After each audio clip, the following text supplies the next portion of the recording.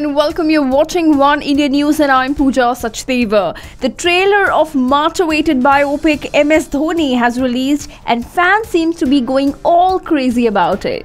But what has immediately caught the attention in the trailer is Dhoni asking selectors to drop three seniors from the Indian side. Well, that actually is not Dhoni but Sushant Singh Rajput, but considering it's a biopic, it has raised so many eyebrows.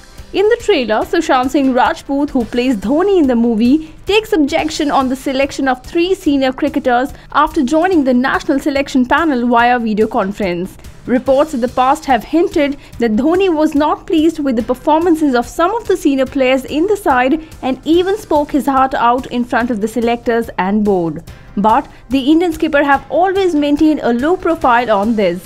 He never expressed his decisions and views about his fellow cricketers publicly although it's a biopic, but there are chances that filmmaker might have taken his liberty while making the film and adding some masala in the movie. The film is all set to hit the theaters on 30th September this year.